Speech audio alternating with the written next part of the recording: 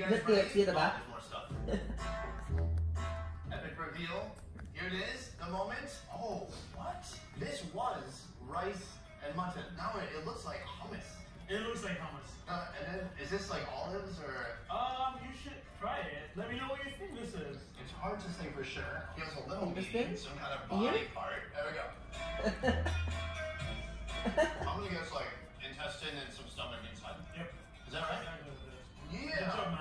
It's like won the weirdest kind of game show in existence. Low organine tastes like it's been boiled for like five hours. Little chewy. I like it. I like the flavor. The texture not so much, but the flavor, yes. I feel like this is the most mysterious thing, so we should save it for last. I want to try some of the chicken to see if it's The really rice healthy. is kinda It's weird. on this hot Mix plate. it. They've cut open some parts already. Oh wow, the breast comes right off. All right, let's try it.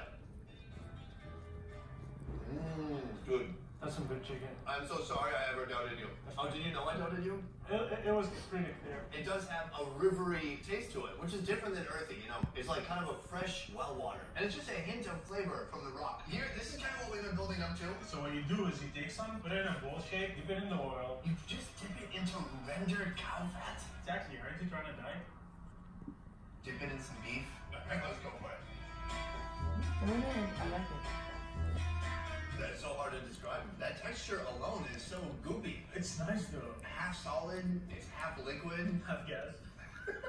you trying to teach me chemistry right now? It's almost like a solid gravy. Like you chew into it, but nothing happens. It just stays there. And then the fat. Oh my god! It's like dipping it into the spirit of a cow. so good though. This. It's like cow butter.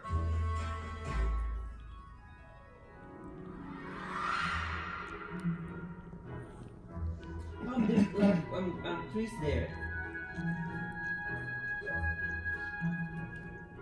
So today we're looking at some unique dessert made in Oman and Oman only. It's called Omani Halwa, and we're gonna go check it out. How do you feel about this, honey? This is like Willy Wonka's factory for Omani people. And today we got a golden ticket to go inside. Yeah, absolutely. Is that only, hold on, we can say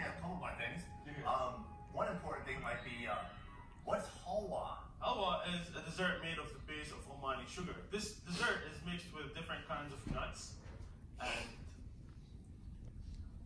these nuts are good.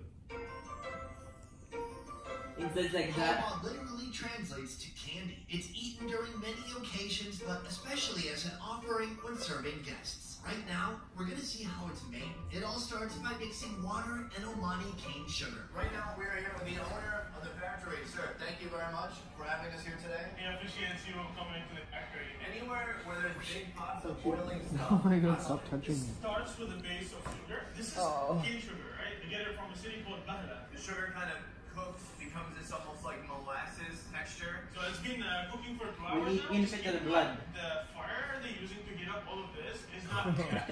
They're actually using wood.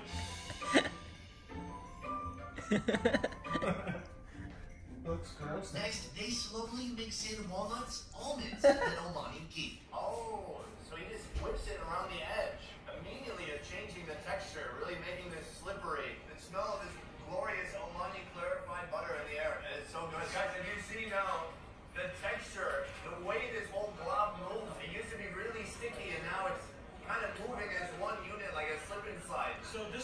Family-oriented factory. They've been doing it generation after generation, starting with their grandparents, the older